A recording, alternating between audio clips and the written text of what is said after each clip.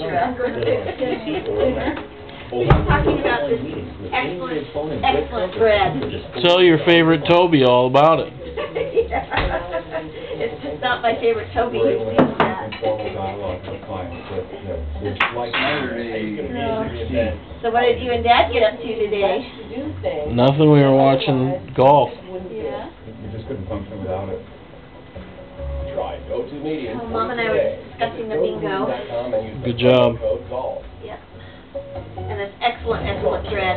What kind of bread is For the it? best golf instruction shows in UK town. Ciabatta bread from. Ciabatta bread with cranberries. That's right. Mm, good. Made here in Portland. Right here, Fred. Yeah. From the greengrocer. It's called Portland Fresh.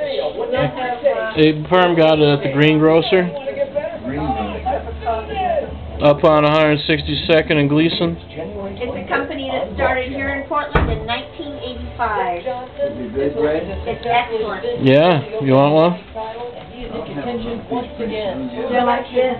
They got cranberries. You want them later on? Cook them first. Yeah, I'll have them later on. Yeah, they're really good with tea or coffee. Check out your wake up forecast today. It's gonna be frigid out there. But so it's You know what's good with coffee? I haven't Buka. You know all the good stuff, David. That's right. Get away from it all. All Italians love Buka. This week, it's the first full field event, the Sony Open in Hawaii.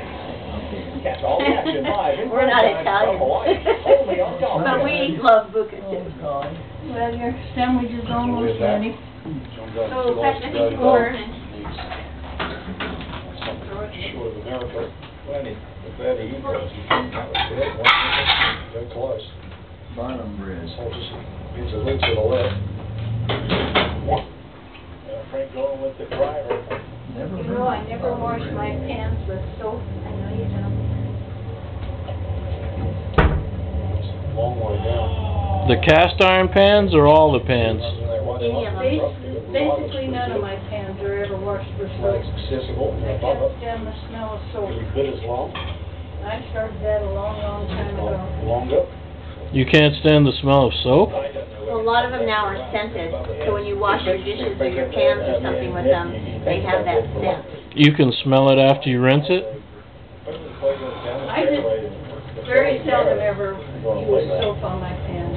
They're not all scented. I got ivory right now. I don't think it has any scent in it. It's over by the I buy- But I don't like it as well because it doesn't stay sudsy very long. Well, I got palmolive right now. Where did he now, miss that one? and, uh, It's mild. If you've got a protractor to play with, rather than a set close. Up, up. Well, so you got ready to go? Yep. Thank you very much, Frank, standing here talking snowboarding with Zach Johnson and Davis. Great Well. Davis, that's something you did a little bit of since, uh, what, December fifteenth? Not a lot of It's practice, but it didn't here, show in your ball striking. No, I hit the ball actually a little more solid than I did yesterday. I didn't get quite as much out of the round today, but, uh, uh, golly. Nick Dollar asked me this morning what I was working on. I said, Say hi to Toby, Pop. I'm still a little rusty, but I'm having fun playing. Hi, Toby. How are ya? Play with Zach. He- What do you think of my bonnet? One hole. Not too Nah. This weekend, are you? No, I think I- I'm getting there. I'm She getting made one of those. I sent her the looked at a yarn for Christmas. took a I couple guess that, uh, hers weren't turned out really big. They're a little faster and drier, but. uh, I got some pictures on my phone, but I haven't retrieved them yet. Maybe it just looks big because Toby's head is so small. No. Eight thirty today around the three hundred par, what happened on seventeen? She could use it for a nose koozie. Oh. I missed, I missed, I missed. Uh, you know, it was one of those situations where I didn't hit a good shot. I just Oh, didn't come hit a good shot. And, uh, Okay. in the bunker and, I'm going now, bye, Pop. are you uh, getting your, Bye-bye, Toby.